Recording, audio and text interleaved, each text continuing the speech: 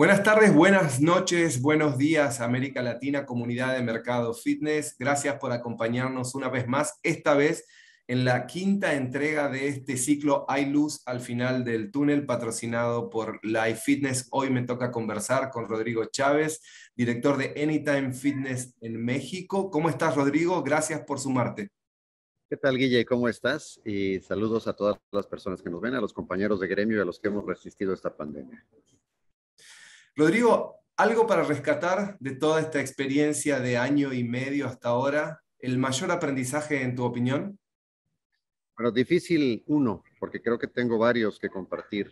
Eh, eh, desde el punto de vista de gremio, mi mayor aprendizaje fue aprender a trabajar con mis, con mis compañeros que antes pensaba que eran mis competidores y ahora me he dado cuenta que no que simplemente somos unos socios todos estratégicos con diferentes marcas y modelos de negocio que buscamos el bienestar de las personas. Ese fue el más grande desde el punto de vista eh, eh, de sociedad. Y como marca, recordemos que yo tengo que trabajar con dos niveles. Tengo que trabajar con franquiciatarios y tengo que trabajar con los socios finales. El primer aprendizaje y más importante que tengo como franquiciatarios es que ante una pérdida catastrófica, siempre pasamos por unos periodos, que el primer periodo es el periodo de, dolor, eh, y mientras más grande es la pérdida, más grande es el dolor. Después viene un, periodo de resignación y viene el mejor periodo, que es el tercero, que es un periodo en donde empezamos a usar nuestra creatividad para encontrar nuevas formas de hacer negocio.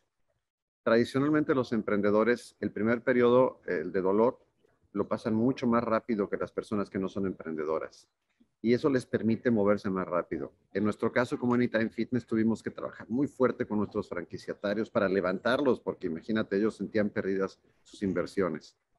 Y después, eh, nuestros socios, pues manejar dos esquemas que fueron importantes. Eh, empujarlos, porque fue una realidad, empujarlos al modelo virtual, porque muchos no lo querían usar o no creían en el modelo virtual, hablo de nuestros socios, ellos estaban muy acostumbrados al modelo tradicional y la segunda es no dejar de atenderlos. Creo que, creo que esta pandemia nos ha enseñado algo muy interesante a los gimnasios, que los modelos híbridos van a ser el futuro de la industria, pero también nos han enseñado que hay una gran necesidad en la industria de hacer un mejor coaching y un mejor asesoramiento de nuestros clientes. La realidad es que cuando nosotros estamos haciendo una mm, reunión virtual, es como un entrenamiento personal o grupal que pasaría en el gimnasio, pero ahora está pasando a través de la parte virtual. Entonces, eso es algo que no, no conocíamos muy bien y creo que lo manejamos mejor. Rodrigo, ¿cuál es la actualidad hoy del sector y de Anytime en México? ¿Cómo están? Bueno, afortunadamente te puedo compartir que estamos al 75%, no estamos al 100, estamos al 75% de como estábamos antes de la pandemia en cuanto a visitas de socios y en cuanto a cobranza, que es muy importante. Las visitas son buenas, pero es mejor cobrar. Y unidades, desafortunadamente perdimos cuatro unidades, solamente cuatro. La buena noticia es que tenemos 10 unidades por aperturar de aquí a diciembre.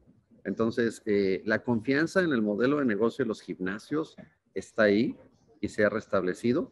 Así que esperamos cerrar este año con al menos más siete o más ocho de cómo empezamos COVID, lo cual sería maravilloso, año y medio de COVID.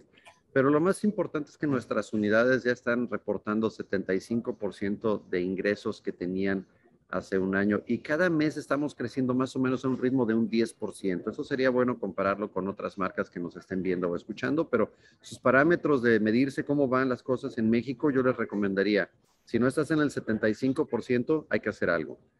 Y deberías estar creciendo más o menos un 10%. Si estás creciendo más rápido el 10%, felicidades, estás haciendo las cosas mucho mejor que nosotros.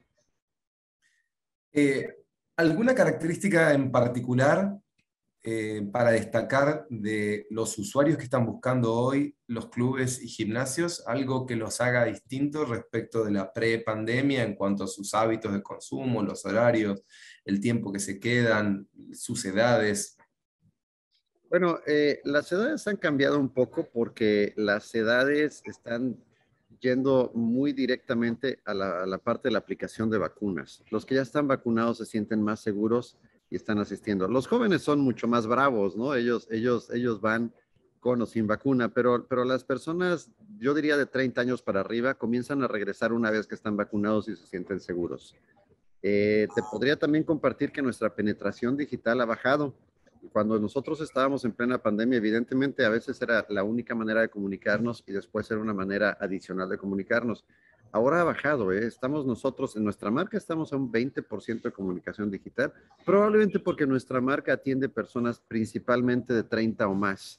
Entonces, eh, ellos han estado regresando al gimnasio, pero lo que ha cambiado también son los horarios, Guille, eh, donde ya podemos operar en 24 horas, que es nuestro modelo de negocio. vemos que hay una dispersión mayor de las personas. Eh, donde no podemos operar, nos hemos dado cuenta que tenemos muchas más personas viniendo en los horarios que no eran pico. Se están, como mucha gente estuvo en home office, se acostumbraron a tener una mejor planeación de su vida y ahora acuden también unos horarios que no eran pico, lo cual es muy bueno para ellos y para nosotros como negocio. ¿Algún área en particular de, de los gimnasios que notes que se usan más, o sea, por encima de otras áreas o a diferencia de lo que ocurría antes de la pandemia o más o menos el patrón de uso es el mismo? En nuestro caso, nosotros hemos visto un aumento en las, en las, em, nosotros no tenemos clases grupales, pero nosotros sí tenemos entrenamientos grupales. Son un concepto diferente porque es, cada quien hace una cosa diferente. En una clase grupal, normalmente todo el mundo hace lo mismo que le instruyen a hacer. En un entrenamiento grupal, cada quien tiene una rutina diferente.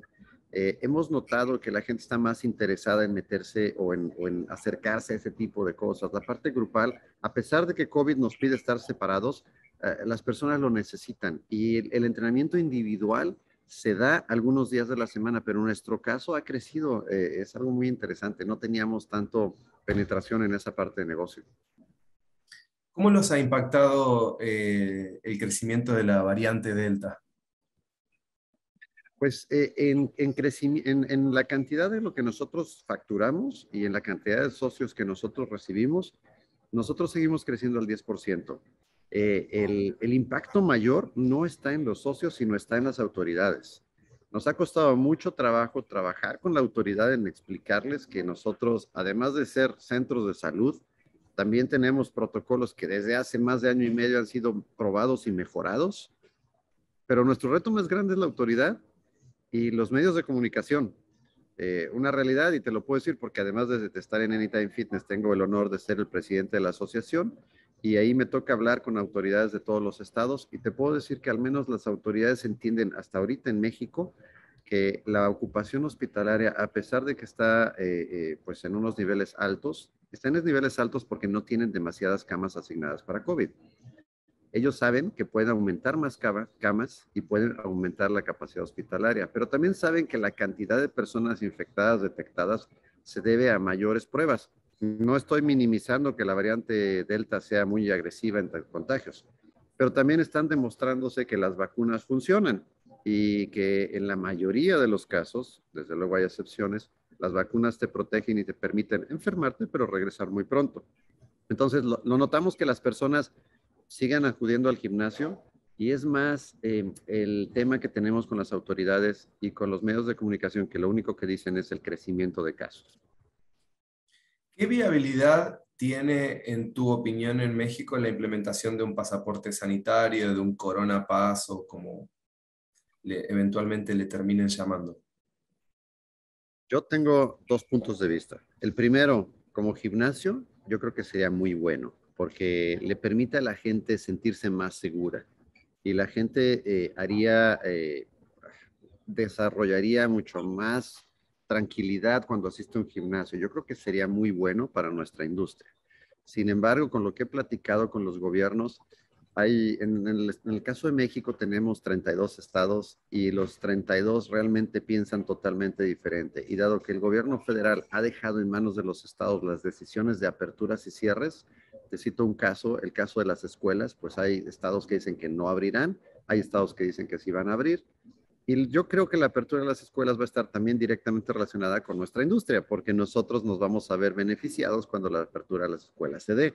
Por un lado, pues porque la economía se mantiene abierta, pero por otro lado, pues porque regresamos al fenómeno tradicional en donde las personas dejan a sus hijos en la escuela y pueden continuar con sus actividades de trabajo y de fitness.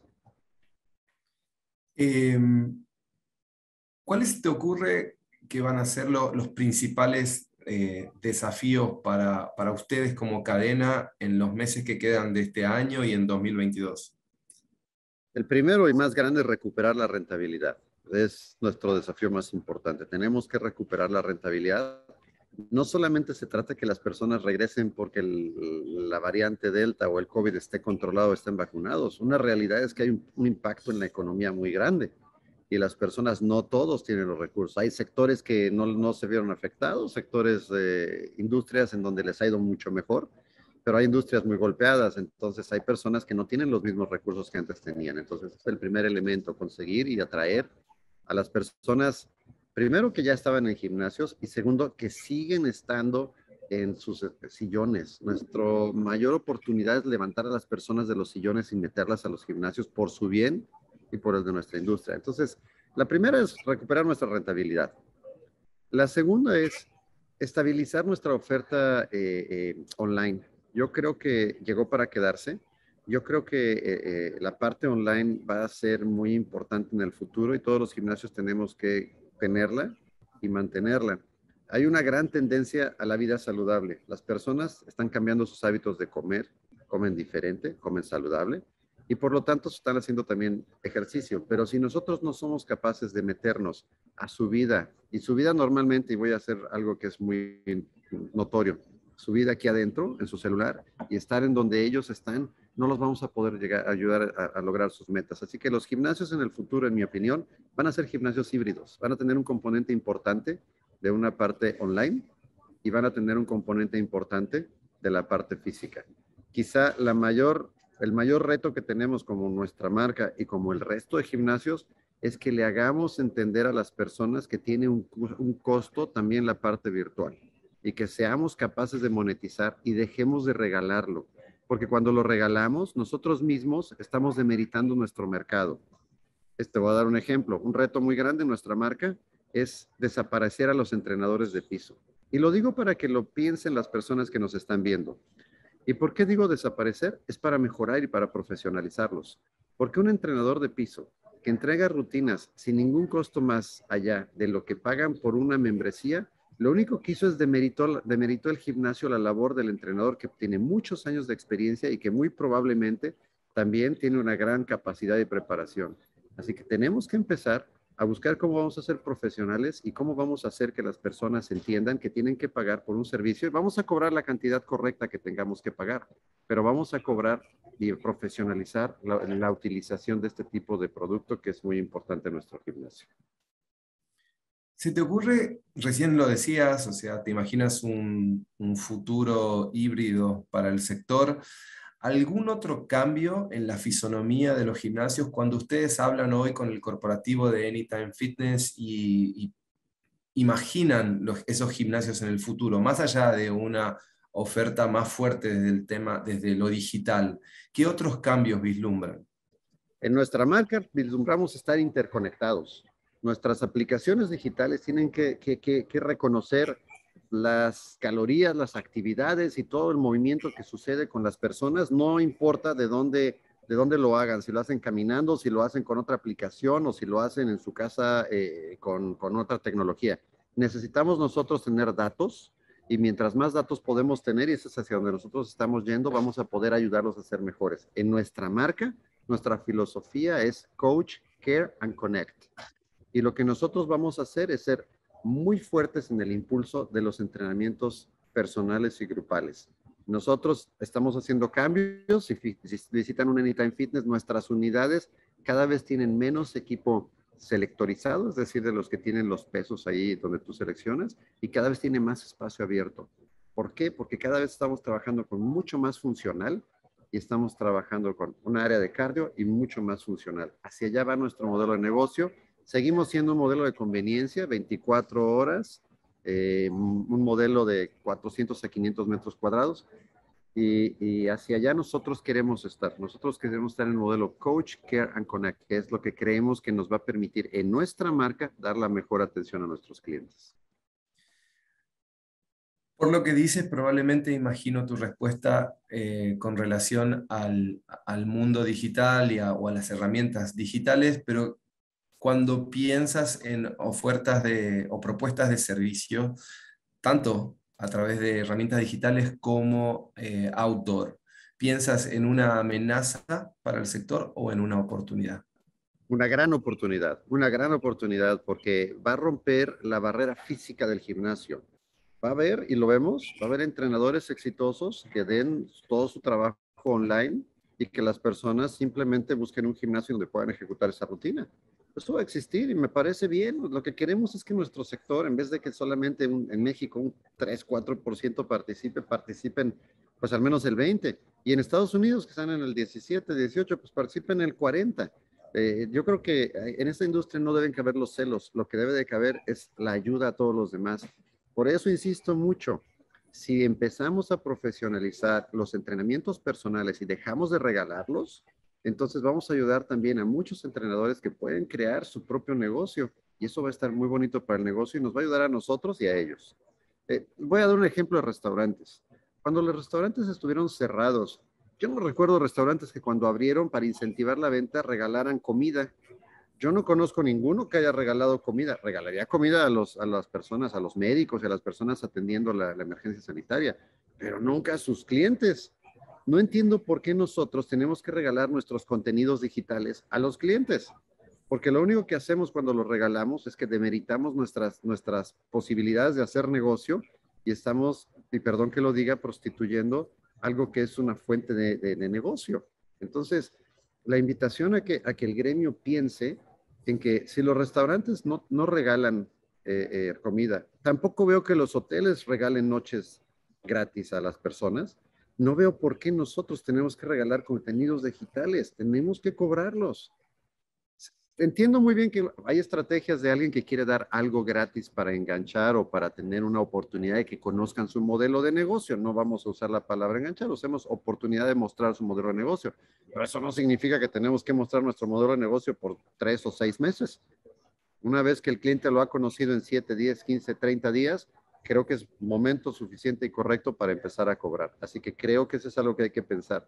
Y si, y si, y si tenemos dos dedos de cerebro y sabemos que el mundo va a evolucionar al digital, y hay, hay compañías que predicen que los gimnasios van a estar en 20 años en 50-50, es decir, 50% solamente serán digitales, 50% serán brick and mortar, pues más vale que empecemos a buscar cómo monetizamos la parte digital. Hablaste de digitalización, recién mencionaste al pasar la profesionalización también.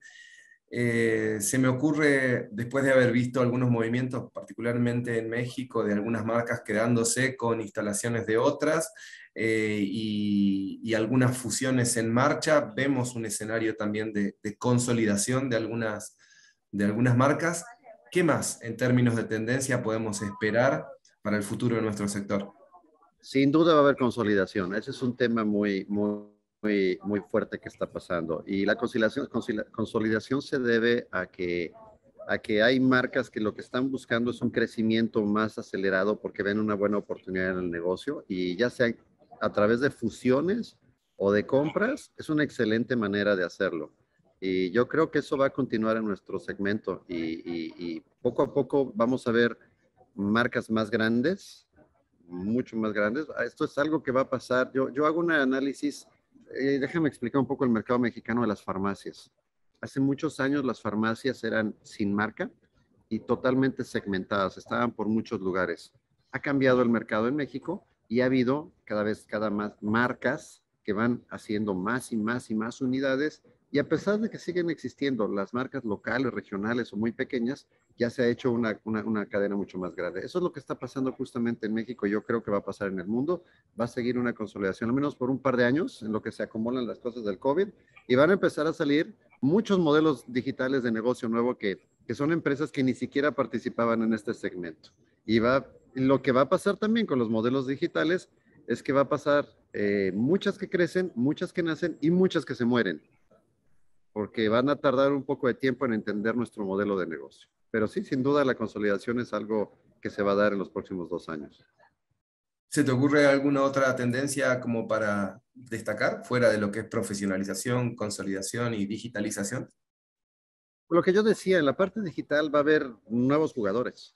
va a haber jugadores y jugadores con mucho dinero también. Y la consolidación se puede dar inclusive también, y lo estamos viendo en marcas, fabricantes que van a ser o compradas o van a comprar. Ah, vamos a ver cómo marcas compran modelos digitales o cómo modelos digitales compran marcas, porque a veces, a veces la marca tiene más dinero que el productor y lo que hace es que compra su propia fábrica. Y como son empresas mucho, mucho más grandes que nosotros y que vienen de otros modelos de negocio, vamos a ver eso. Eso va a pasar. Va a haber muchos nuevos competidores. Eh, creo yo mucho más en la parte, mm, una híbrida digital y, ejercicio en casa. Y brick and mortar creo que va a haber más consolidados. Eso es lo que yo creo que va a pasar.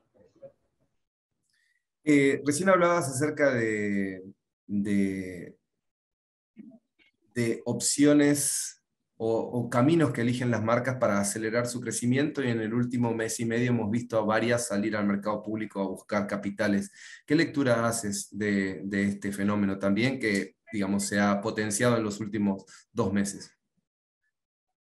Pues eh, quizá más que una lectura, mira que son amigos míos, algunos que están haciendo este tipo de cosas y, y mi opinión, porque pues no puedo dar ninguna recomendación, pero solo quiero, quiero dar mi opinión como, como Rodrigo Chávez, es que, es que en el pasado las marcas, sobre todo en, en países como Estados Unidos que se han vuelto públicas, los primeros cuatro o seis años crecen muy rápido porque tienen los recursos de crecimiento, para eso fueron al mercado público. Pero después, el volverse público, se les volvió una carga y entonces es solamente reportar los datos financieros y olvidarse de la experiencia del cliente. Entonces, eh, aquí la invitación, porque un gimnasio que cierra en el mercado nos hace daño a todos. Entonces, aquí, si no es una invitación, al menos es decirles mi opinión, sigan poniendo mucha atención en que los clientes sean atendidos como debe de ser, porque el beneficio y el crecimiento de las marcas y que se vuelvan públicas nos permiten a marcas como la mía seguir creciendo porque el mercado sigue creciendo y las personas buscan diferentes modelos que les acomoden y a veces prueban en una y después se prueba, se cambian a otra. Sabemos que la attrition en nuestro o, la deserción en nuestros gimnasios es algo permanente a niveles del entre el 45 y el 65%. Es normal que las personas duren entre 8 y, y 9, 10, 11 meses en un gimnasio después busquen otro. Entonces, mientras más crezcan, mejor, pero mi gran invitación a esas marcas a que cuiden la experiencia del cliente. Vean lo que ha pasado en los años anteriores. Rodrigo, las dos últimas. La primera tiene que ver con qué esperar de eh, lo que resta del año. Dos números que diste al pasar. Eh, uno, 75% de recuperación en términos de ingresos hasta hoy respecto de la prepandemia cuál es la expectativa para diciembre de, este año aproximada. Y, la última es, hablaste también acerca de 10 aperturas proyectadas eh, para lo que resta del año, los planes de, crecimiento. Bueno, eh, nosotros queremos estar, como lo dije, estamos al 75, queremos regresar al 100 o un poquito más, de recuperar nuestra rentabilidad es lo más urgente. El crecimiento, pues ya están firmados los locales en construcción, eso ya es muy difícil que no suceda. Vamos a tener 10 unidades abiertas de aquí a diciembre. Eh, eso nos permite regresar en donde estábamos, seguir siendo la marca con unidades, número dos en el país, en unidades, medido en unidades. Y aspiramos a, a seguir abriendo el año próximo a ritmo de 1.5, porque creemos que una vez que regresamos al 100%, estamos en las posibilidades de regresar a donde estábamos un poco mejor. Una primicia, quizás es importante, ya, ya que estamos aprovechando tu canal, eh, vamos a venir con dos modelos más el año próximo, son dos franquicias más, una que se llama Basecamp, ya lo tenemos eh, eh, acordado con Anytime Fitness, Basecamp es propiedad de Anytime Fitness, es un modelo de, de como unas clases de alta intensidad, pero un poco sofisticado, es algo, es algo interesante, es un modelo eh, para, para, el, mercado, el mercado que puede pagar este tipo de producto. Y venimos también con otra franquicia de, de barre, de, a, través del ballet, utilizar, utilizar barre para, para poder eh, hacer algunas rutinas, muy, muy enfocado a las mujeres. Y esos son un par, de, un par de modelos que estaremos estrenando, yo creo que para el segundo cuarto del 2022. Así que Anytime continuará su plan de crecimiento. Nosotros esperamos este año estar en cerca de 77 unidades y el año próximo queremos estar llegando a las 90 probablemente. Eso es nuestro plan. Nosotros ahí es donde queremos estar. Y en cuanto a nuestros nuevos modelos de negocio, traer nuestras dos marcas para poder atender segmentos de mercado que hoy no estamos atendiendo. Rodrigo, gracias. Eso es lo que nos espera. Gracias por tu tiempo y éxitos con, con todos esos proyectos. Guille, muchas gracias por la entrevista, muchas gracias a todas las personas que nos están viendo y la invitación a que, insisto, mídanse con nosotros o con otras marcas, 75% de recuperación deberían tener ahorita y una recuperación del 10% a cada mes. Si están ahí, bien, si están arriba, llámenme y digan cómo lo hacen, pero tratemos de regresar donde deberíamos de estar para finales de diciembre. Gracias, Guille. Gracias a todos por habernos acompañado. Estuvimos con Rodrigo Chávez de Anytime Fitness de México en este ciclo Hay luz al final del túnel patrocinado por Live Fitness. Les dejo un abrazo y será hasta la semana que viene.